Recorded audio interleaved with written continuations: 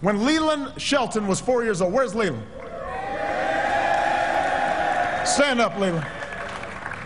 When Leland Shelton was four years old, social services took him away from his mama, put him in the care of his grandparents. By age 14, he was in the foster care system.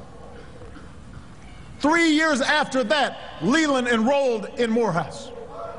And today he is graduating Phi Beta Kappa on his way to Harvard Law School.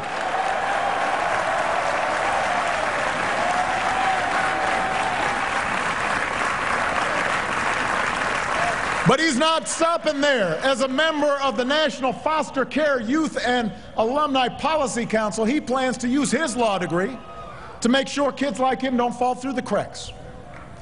And it won't matter whether they're black kids or brown kids or white kids or Native American kids, because he'll understand what they're going through. And he'll be fighting for them. He'll be on their, in their corner. That's leadership. That's a Morehouse man right there. That's what we've come to expect from you, Morehouse a legacy of leaders, not just in our black community, for, but for the entire American community. To recognize the burdens you carry with you, but to resist the temptation to use them as excuses.